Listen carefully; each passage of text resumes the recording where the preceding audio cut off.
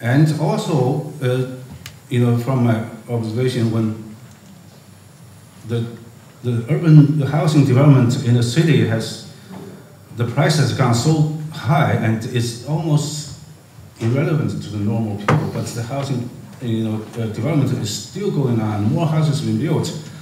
And I think the house now being built for the rich people to, you know, as an investment tool. Uh, and then those uh, people, they, uh, they, they actually afford to, to, to buy this house. They don't really need it.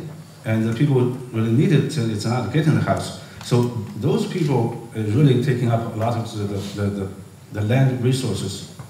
And, uh, and that caused the, the housing price going up.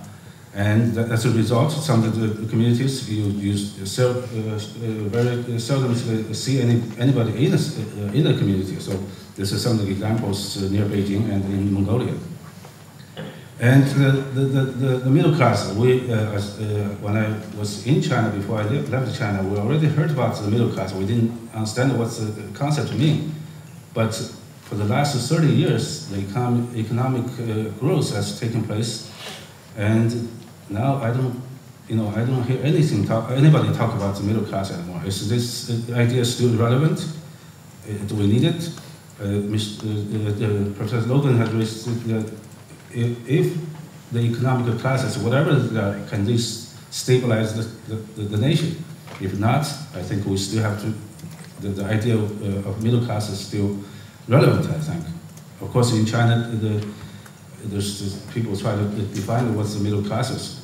But I think the image on the, uh, the football on the left side is, is what we understand about the middle class as, you know, as people uh, distribution, income distribution. But in China, is where I think we're seeing more and more like the, the image on the, the right side of the tap, uh, tap pole, uh, uh, pole. and with a, a, new, a larger group of people getting good incomes and become the uh, uh, uh upper uh, middle classes, whereas a, long tail of, of group of people, and then, then they have a very low income or, or a very average income, and this this is going to be a, a issue that uh, the Chinese government has to face in the next 10 or 15 years.